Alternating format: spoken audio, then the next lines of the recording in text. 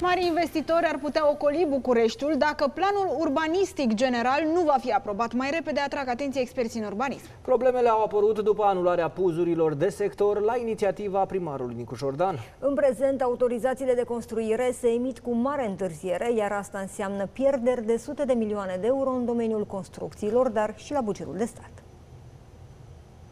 Imediat ce a fost instalat primar general al capitalei în 2020, Nicuș Șordan a suspendat toate planurile urbanistice zonale de sector, pe motiv că în București se construiește haotic și se distruge spațiul verde. În consecință, lucrările noi au fost mult întârziate, generând pierderi uriașe, spun experții în urbanism. Acest oraș care ne e drag tuturor, este într-o situație în care nu mai are regulamente de urbanism. Blocându-se orice emitere de certificată de urbanism și de autorizații, avem o pierdere de 2,5 miliarde de euro la bugetul de stat și peste 80.000 de locuri de muncă directe în București. Sunt foarte multe firme care renunță să mai investească în București. Fără puzuri de sector, autorizațiile de construcție se emit acum în baza unui plan urbanistic general din anul 2000, care nu mai reflectă realitatea capitalei tot acest joc al primarului general nu creează decât incertitudine, ceea ce face ca investitorii să nu reușească să-și facă nici măcar un plan pe un termen mediu măcar, cu privire la investiții. Primarul Capitalei spune că un nou plan urbanistic general este în dezbatere publică, iar la finalizarea lui lucrurile vor intra în normalitate. Asta ar putea dura însă 2 sau 3 ani.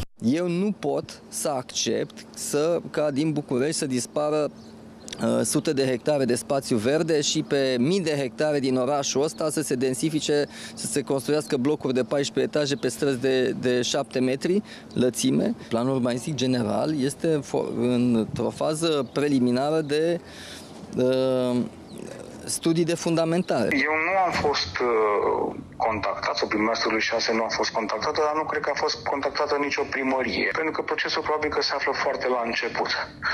Adică mm, normal este și probabil că vom fi uh, și noi uh, uh, invitați la discuții. Una dintre propunerile noului plan urbanistic general este împărțirea capitalei în 61 de cartiere. Documentul va conține regulamente de construcții pentru cartiere rezidențiale, grădinițe, școli, parcuri și drumuri noi.